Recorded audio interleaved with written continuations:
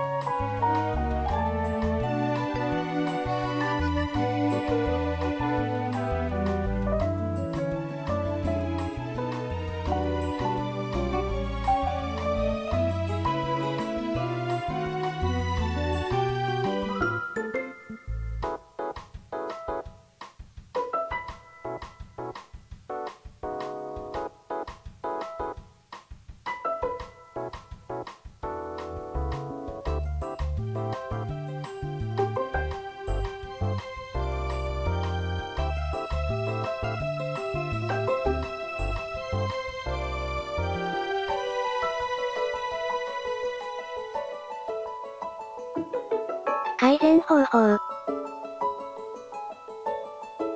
コントロールキーとシフトキーと、エスケープキーを同時に押して、タスクマネージャーを開きます。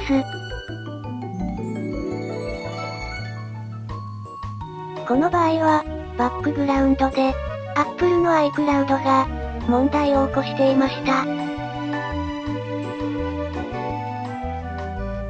それのタスクを終了します。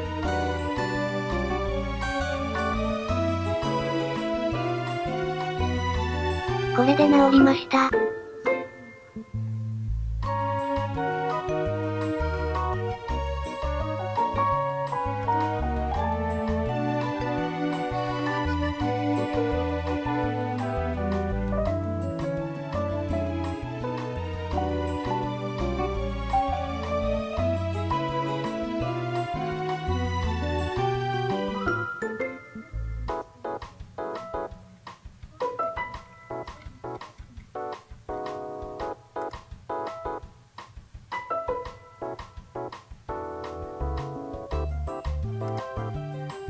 通知を確認すると2通来ていました。